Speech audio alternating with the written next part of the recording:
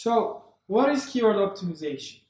Optimizing your keywords is the process of first finding the proper keywords, then choosing which one of those, and then testing out your performance on those keywords to make sure that your choices were accurate ones. So why is keyword optimization important? First of all, if you're ranking for the proper keywords, you can reach to your target audience easily. Also, if you reach your target audience, um, you will have a huge user base of high quality users. So as we mentioned before, high quality users, also known as organic users, are the user group that has the most likeliness to spend money on your app. So the central process of doing keyword optimization is often referred as the keyword optimization cycle. We call this a cycle because it's not just a single practice. So first, you find the keywords, you choose which keywords you want to go with, and then you test your results. But it doesn't end there.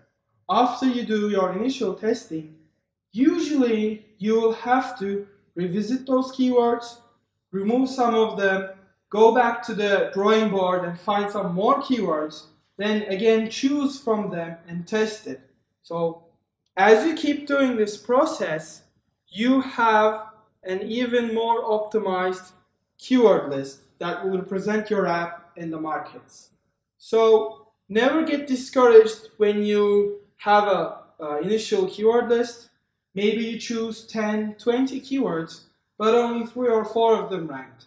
So in this case, it's not healthy to say that App Store optimization doesn't work. Instead, you have to revisit and find what, what went wrong and then decide for the correct keywords. So let's start with the first step of keyword optimization cycle. So the first step is finding keywords. So in this process, it is expected from you to find a huge bulk of keywords that you can use or you can choose from like that list. So to uh, elaborate this a bit more, first we have to understand the types of keywords. So in its core, keywords are single words or phrases that represent your app in the store. So when a user searches for a specific app, it can be the app's name if they have heard it before, or they might be looking for a certain app that fulfills one of their needs. So they will use certain keywords for that, and knowing this is very important. But first, we have root keywords, or, or also known as seed keywords. So these are single words that have a very broad meaning. They are like very generic, so it's very difficult to find something on that. You can imagine, let's say, the keyword GPS. So when you search for the, the keyword GPS, you can get a GPS navigation app, you can get Find My Family app, you can get even a dating app. So rather than that, as a second type of keywords, we have long tail keyword uh, keywords. So long tail keywords serve a specific purpose and they are often searched by organic users who are looking for a specific app. So in this case, instead of GPS, we can say GPS family locator. So although it has the keyword GPS inside of it, it actually serves a different purpose. Someone who's searching for this keyword knows exactly what they're looking for. So if, let's assume you have a family GPS locator app, if you target this keyword, you're very likely to rank high from it and then convert that user. So in this case, while you are finding some keywords, you should first start with seed or root keywords and compile a big list. But always at the back of your head, try to think about possible combinations that you can construct meaningful long tail keyword ideas. So let's continue on how we find these keywords.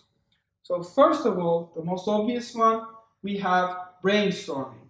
So what is brainstorming? You can come together with a couple of your friends, maybe your colleagues, can do it on your own. So the idea here is to uh, think like one of your potential users. They have never heard about your app, but they need an app like yours.